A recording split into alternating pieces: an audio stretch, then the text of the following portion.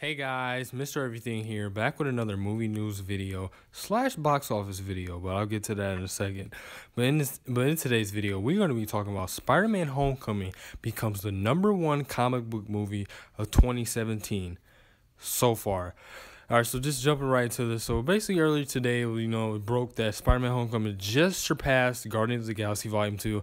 It broke a whole bunch of other records, like you know, it beat like Iron Man and uh, you know a few other films. Uh, you know, domestically and then you know worldwide. Obviously, it's beaten every other comic book film this year so far. So it's beaten Wonder Woman, it's beaten Guardians, Logan. It has made more money than all of those movies. Uh, not combined, obviously, but it has made more money, you know, singly. But uh, yeah, I think it's good. You know, I think Spider Man is, you know, up there with you know the comic book movies. But to be fair, we have had out of the four that we've had. Yeah, yeah, we have we yeah we. I was just trying to make sure. Yeah, we had four this year. Out of the four that we had, they're, they're all really good. I mean, Guardians is the weakest one, and even that is still good. But yeah, you know, it's great for Spider Man. And um, so like I said at the beginning of the video, I said movie news slash box office. So what I'm gonna do with this video, I'm gonna put this in both my box office slash my movie news playlist. Since technically this is a box office video, but it's also you know like a movie news video. So I'm gonna put it in both uh, categories. But yeah, I think it's great for Spider Man. Like I said, uh.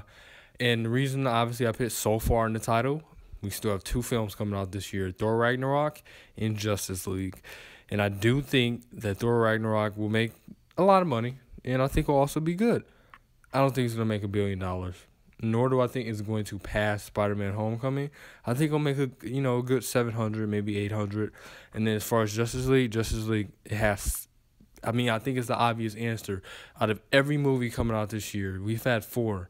None of them have made one billion dollars. Wonder Woman, Guardians, and Spider Man have made eight in the eight hundred millions, but none of them have made one billion. If there is one movie that's going to make one billion dollars, it has to be Justice League. I, I just only that's the only way I can see it. You know, I was you know watching a couple of my uh, YouTubers videos and stuff, and you know even they're saying the same thing. Like it's Justice League, like unless they do something terribly wrong, the movie is terrible. But even then, it is Justice League. It is it is DC's Avengers.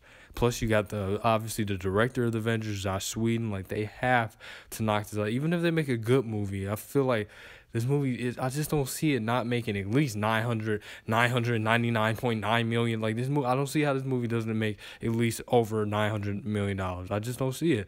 But uh, yeah, that's it for the uh, video today, guys. Thank you guys so much for watching. Be sure to like and subscribe. Check out all my other movie news videos. Check out my movie review for Spider-Man: Homecoming if you want to, and uh, my Blu-ray unboxings, all my videos. I do everything on this channel. And have a great rest of your day. All right, peace out, guys.